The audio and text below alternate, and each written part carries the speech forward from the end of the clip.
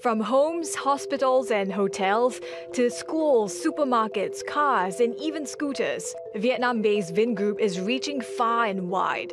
The company, founded by Vietnam's first billionaire, Pham Nhat Vuong, started out as an instant noodle business in Ukraine. Now it's become the biggest conglomerate in Vietnam, with revenue in 2022 equivalent to almost 2% of national GDP.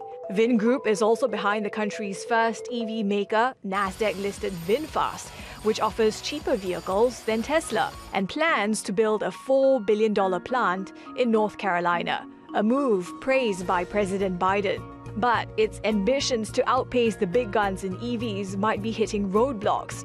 VinFast has sold fewer than 1,000 cars in North America, and its US factory is facing delays. The company's founder has stepped in to help, pledging to inject $1 billion of his own wealth into VinFast.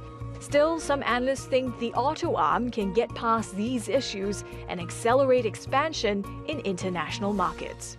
Avril Hong, Bloomberg News.